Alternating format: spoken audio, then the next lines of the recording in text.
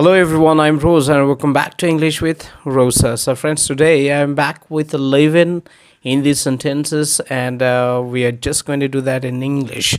Alright, so friends, this video is going to be very interesting. So keep watching the video till end. Okay, and open your notebook and just jot down all the Hindi and English sentences on your notebook. Fine. So let's get started with the first one. The first कि तुमने मेरी सुनी होती तो आज ऐसे नौबत नहीं आती। तुमने मेरी सुनी होती तो आज ऐसे नौबत नहीं आती। फाइन सो हिंदी में तो सुनने में बहुत अलग लगता है।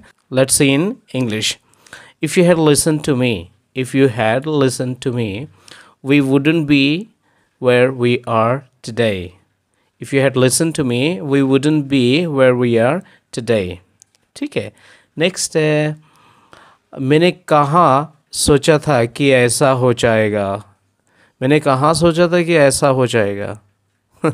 इसको हम इंग्लिश में बोलते हैं little did I think little did I think that this would happen little did I think that this would happen fine third है, आप जज्बाती हो गए थे भैया। आप जज्बाती हो गए थे भैया।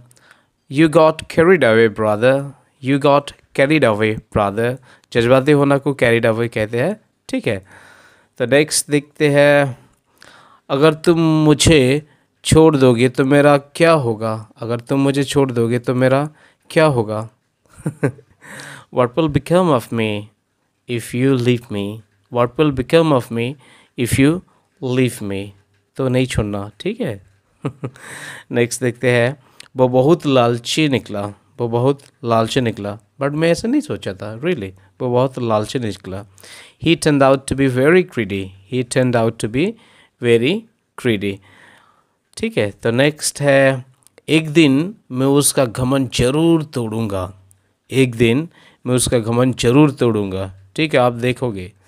I will certainly shatter his arrogance one day I will certainly shatter his arrogance one day ठीक है तो आप यूज़ करना this kind of sentences right तो नेक्स्ट देखते हैं कि, उसका घमन चूर चूर हो गया भाई, उसका घमन चूर चूर हो गया।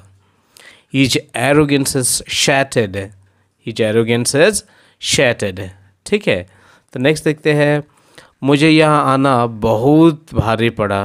या आप ऐसे भी कह सकते हैं, मुझे यहाँ आना बहुत महँगा पड़ा ब्रदर आप जब बहुत महँगा पड़ा बोलते हैं तो उसे बोलते हैं पे ए हैवी प्राइस बोलते हैं, ठीक है? तो let's in English I had to pay a heavy price I had to pay a heavy price for coming here I had to pay a heavy price for coming here ठीक है?